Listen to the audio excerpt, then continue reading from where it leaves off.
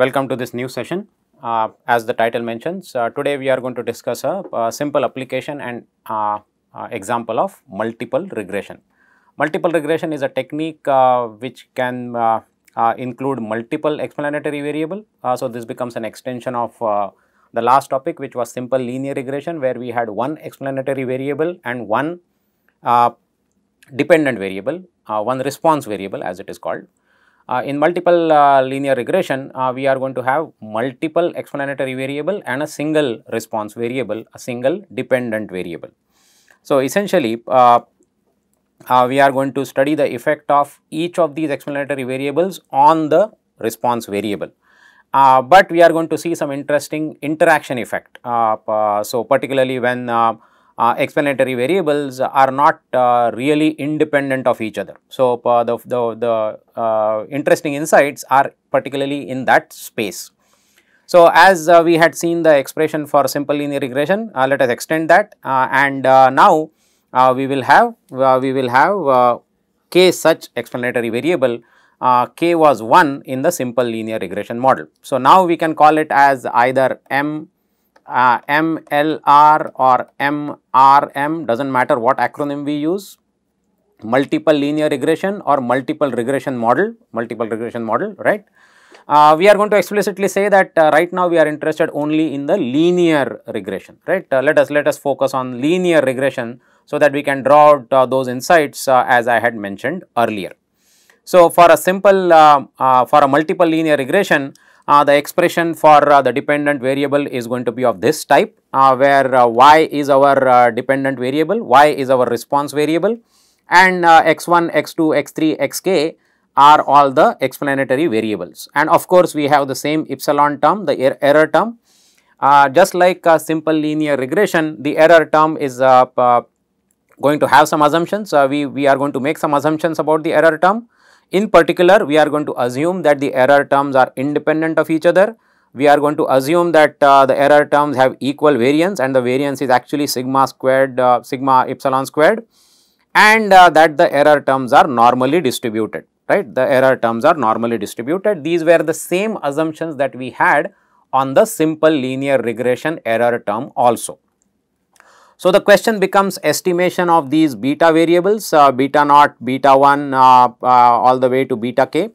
Uh, so, there are k plus 1 uh, betas to be uh, to be estimated and we are only going to have a sample of values for x1, x2, x3 all the way to xk as well as y and from this sample of data we are going to estimate these parameters beta naught, beta 1, beta 2, beta 3 all the way to beta k. So, this is this is the uh, multiple regression model right uh, uh, all the things that we had said about simple linear regression apply which means that uh, the expected value of y given the bunch of x uh, will be equal to beta naught plus uh, beta 1 x1 plus beta 2 x2 all the way to beta k beta k xk right. So, all, all so the expected value is going to be uh, uh, beta naught uh, all the way to beta k beta k xk because the expected value of epsilon is going to be 0 right because the error term has 0 mean. So, essentially the main difference between a simple linear regression model and multiple regression model is that uh, there is only one explanatory variable in simple linear regression which means that uh, the equation is of this type. So, beta naught plus beta 1 x 1 uh, plus uh, epsilon and uh, then the multiple regression will have beta 0, beta 1 x 1 plus beta 2 x 2 all the way to beta k x uh, k plus epsilon. Now, the impact of all the other explanatory variable which was not explicitly considered in the simple linear regression will get lumped into the error term, will get lumped into the error term so, in general uh, uh, this error term uh, will incorporate will will consider the effect of all these variables which were not considered in the simple linear regression model. So, this was our simple linear regression model, this was our multiple regression model, right. Uh, so, this is this is going to be the main difference. Uh, so, whatever effect was not explicitly considered will get into the error term. Now, uh, yeah, so let us let us look at the numbers and that that will tell us a few more things right. Uh, there is there are a couple of more things uh, that uh, we are going to specifically focus on. One of them is called adjusted R squared. If you remember in the simple linear regression output of Excel, we said the Excel prints something like adjusted R squared, but we will consider it only when we look at multiple regression. So, this is the time we should consider that. So, in general, uh, if you add uh, if you add explanatory variables to the regression, the R squared is expected to go up. R squared is expected to go up. However, it should go up purely based on the explanatory power of the model. It should not go up because we are adding explanatory variables. So, uh, adjusted R squared adjusts for that uh, number of uh, number of explanatory variables that we have in the model. In general, it is it is expected to be smaller than the R squared that is reported. So, adjusted R squared gives us a slightly more realistic picture of what is the combined explanatory power of all these explanatory variables that we have in the model, right. R adjusted R squared uh, which is generally I have denoted that by R bar squared uh, and R squared is our typical uh, coefficient of determination. R bar squared also adjusts for the sample size, right. Uh, there is a specific expression for uh, R bar squared, the adjusted R squared, but let us not worry about that. So, uh, just like simple linear regression model, we were focused on R squared value and SE value, which is estimate of sigma epsilon, right Sigma epsilon is what we want, uh, but from the sample we are only going to get SE, uh, uh, standard deviation of the error terms. Those two are going to help us understand generally speaking whether our regression model is good or not. In general, we want a large value of r squared or adjusted r, uh, r bar squared, we want the larger value of that and we want a smaller value of uh, SE, we want a smaller standard deviation of the error terms and we can see uh, from the multiple regression model that uh, r bar squared and se squared move in the opposite direction when we keep adding explanatory variables to the model. In general, uh, the uh, r uh, adjusted r squared goes up whereas the standard deviation of the error term generally comes down if you add explanatory variables to the model. Okay, uh, so uh, we are uh, uh the one way to understand uh, this impact of r squared is to look at actually the scatter plot between uh, the observed values of the y variable and the fitted values of the y variable. Uh, the big difference between the explanation, uh, the interpretation of r uh, in SLR against MLR is that actually r, r value, the r value in general, if we add explanatory variables uh, to the re multiple regression model, uh, the R squared value is expected to go up and the standard deviation of the error term is expected to come down. Now, this R itself, the coefficient of correlation uh, is a tricky thing in multiple regression model. Uh, in a simple linear regression model, we said R represents the correlation between X and Y because there was only one X and obviously one Y. In multiple regression model there are multiple x's right? Multiple explanatory variables. So r should represent what? So in multiple regression model actually r represents the correlation between the observed value of the response variable and the fitted value of the response variable so more uh, tighter this uh, relationship is the higher should be the r value okay so that is the interpretation of uh, r in multiple correlation uh, now uh, the, the slope, right, uh, the slope, let us go back to the expression. Here, here the slope of the line which is beta 1 is called the marginal slope. What is marginal slope? Marginal slope is the change in y variable with one unit change in the x variable. Okay. There is no other explanatory variable. So, this definition is enough look at the same coefficient of x1 in the multiple regression model. This coefficient is called partial slope. This is called marginal slope. This is called partial slope. How do we define beta 1 in a multiple regression model corresponding to the same explanatory variable? How do we define beta 1 here?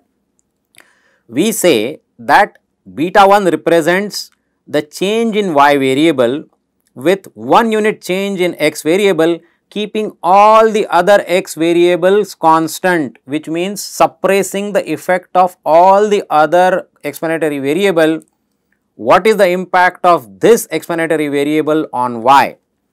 That is the interpretation of this beta 1. Even though the term used is same, here also we are calling it as beta 1 x1, here also we are calling it as beta 1 x1. This beta 1 is called marginal slope, this uh, beta 1 is called partial slope in MLR. Now, ideally speaking, we want explanatory variables which are orthogonal to each other, which are independent of each other. if this is truly correct, if the explanatory variables that we have in the regression model are truly independent of each other, then the marginal slope and the partial slope will have the same value. Rarely however this happens, rarely the explanatory variables are completely independent of each other. Okay.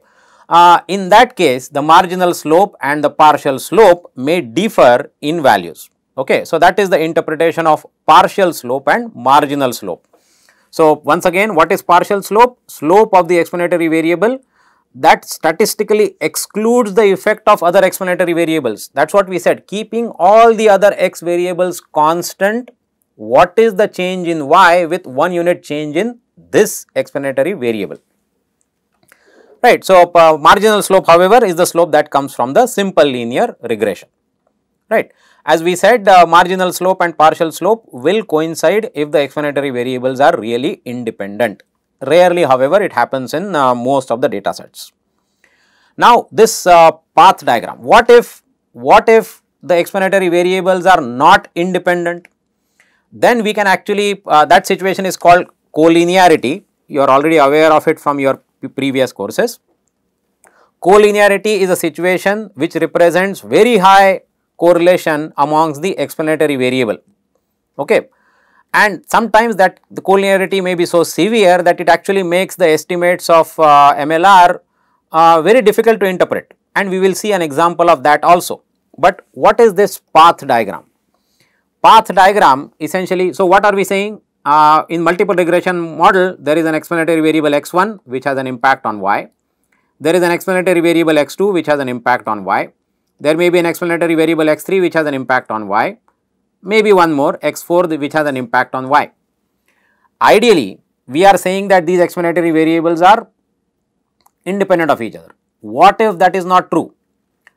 So, path diagram indicates the relationship amongst the explanatory variable and the response variable. So, in addition to these arrows, what if x1 may also influence x2? Because x1 and x2 are not independent, x1 may influence x2. So, now we can say that x1 impacts y in two different ways. There is a direct effect of x1 on y which is this arrow. Now, there is an indirect effect of x1 on y because x1 impacts x2 and in turn x2 impacts y. So, this path is called the indirect effect of x1 on y. If once again let me state it, if x1 and x2 were independent, if this path, if this arrow was statistically not significant, then the indirect effect of x1 on y will be 0. Okay. However, if x1 and x2 are correlated, x1 may influence y directly, x1 may influence y and x1 may influence x2 and x2 may influence y. Okay, so that may also happen. So, what is the total effect of x1 on y? The total effect, total effect of x1 on y is the direct effect, direct effect which is which is this, right? plus the indirect effect. Okay. And this relationship should hold, this relationship should hold. I should be able to show that if I add up the direct effect and if I add up the indirect effect, I get the total effect of x1 on y, right. Where will I get the total effect of x1 and y, uh, x1 on y? The total effect of x1 on, on y is represented in the marginal slope right is, is represented in the marginal slope because there was no other explanatory variable. So, if I say that y is equal to beta naught plus beta 1 x1, this is the total effect, this is the total effect of x1 on y. Whereas, when I say beta naught plus beta 1 x1 plus beta 2 x2, Now, there is a direct effect of x1 on y. Now, x1 and x2 may be correlated, x1 and x2 may be correlated and some impact, some amount of this beta 2, some amount of this beta 2 may be because of x1, some amount, not directly, not all b2, not all, not all beta 2, right. So, some amount of this beta 2 may be because of x1. So, this is called the indirect effect, some component of beta 2 influencing y is the indirect effect. So, this direct, uh, so this total effect should match the direct effect plus the indirect effect. Okay. Right now, this will look like, like uh, slightly abstract idea, but let us take an example. The best thing is to take an example. So, let us uh, uh, let us stop the PPT. Let us stop the PPT and actually go to the Excel sheet where I have the example. Okay, so this is the data.